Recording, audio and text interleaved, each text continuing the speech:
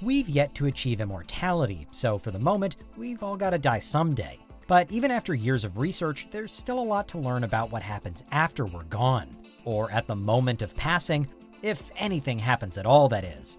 This is Unveiled, and today we're answering the extraordinary question Does your brain know when you're dead? Are you a fiend for facts? Are you constantly curious? Then why not subscribe to Unveiled for more clips like this one and ring the bell for more fascinating content? Today, we think of brain death as the end of a person's life, as a state that they cannot recover from. But it's a relatively recent concept. For centuries before, the heart was generally believed to be the most vital organ, the last frontier for life in the body. And according to some early theories, the heart was even the location of a person's soul. But science has since forced us to rethink. We now have technology to keep people breathing even when their lungs have failed and even when their hearts have stopped beating. It's also possible for us to restart a heart after losing a heartbeat. So just because your heart has stopped doesn't mean you're definitely dead. Instead, we consider the brain to be the last port of call for life in a person. There are still huge gray areas where this is concerned, though, and the final criteria for brain death is still subject for much debate in the medical community.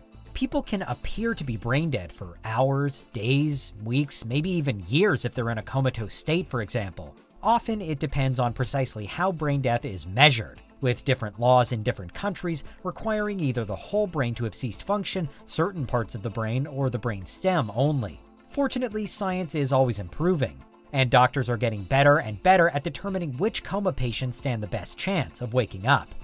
Pioneering research led by Ron Kupers of Yale and the University of Copenhagen, for instance, has shown that PET scans, to reveal how much sugar a brain is using, can determine whether somebody is irreversibly brain dead or not.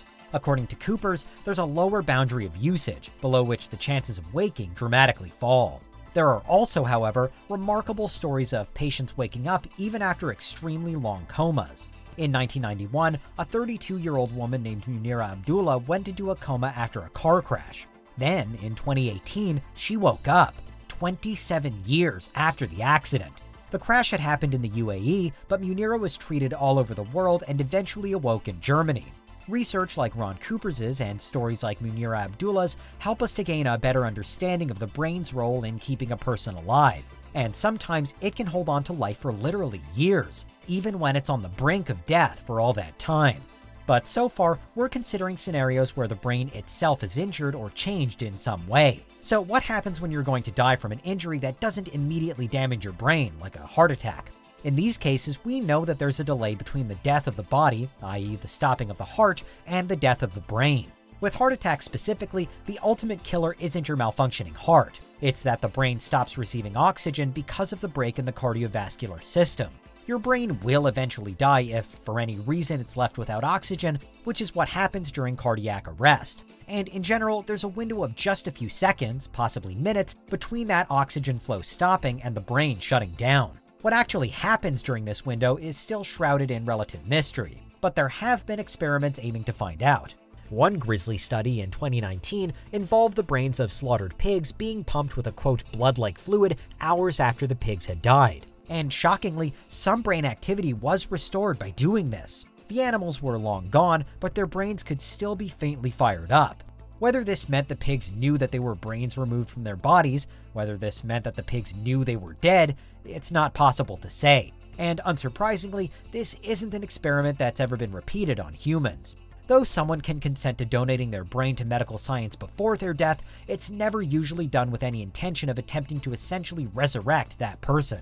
The ethical considerations here are just enormous. Similar ethical restrictions make it difficult, if not impossible, to obtain a scan of someone's brain at the moment that they actually die. For as long as a patient is still alive, doctors will do everything they can to try and save them until they either fail or succeed.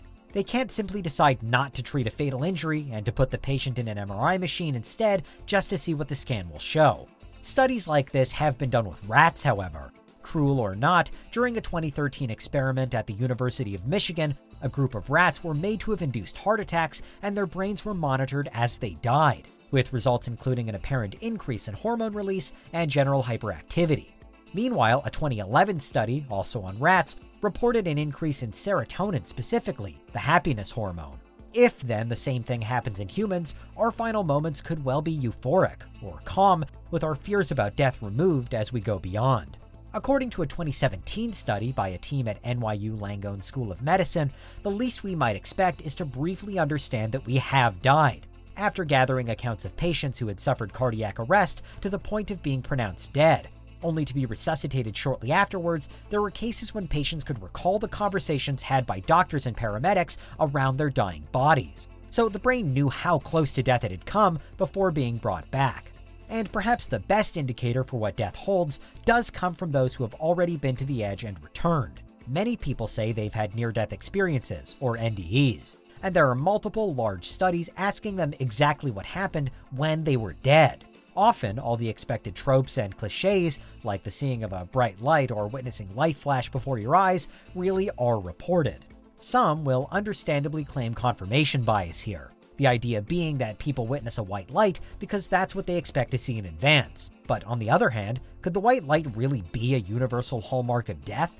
For many, the fact that similar images and experiences are seen and felt so frequently does suggest that death is knowable, that the brain comprehends when we're going to die, and perhaps creates a familiar encounter in a bid to make sense of it. Away from science, here's where the idea of an afterlife takes hold.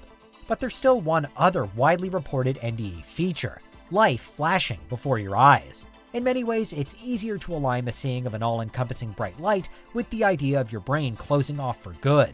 One theory on flashbacks, though, is that they're the brain falling back to reassuring day to day feelings in a bid to cope with the immense stress of what's actually happening to you, to comfort you with familiar images and sensations.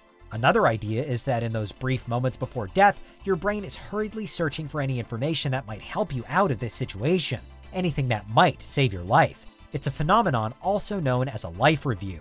In a study by the Hadassah University in Jerusalem published in 2017, hundreds of people who had experienced one were asked detailed questions about their life reviews. Many reported feeling as though time had completely stopped while they rewatched various seemingly random moments from their past. In some cases, the study's participants weren't even remembering these moments from their own perspective, but from a disembodied point of view, or even from the perspective of somebody else and often they reported an incredible transformative effect as all their actions, good and bad, were placed in front of them.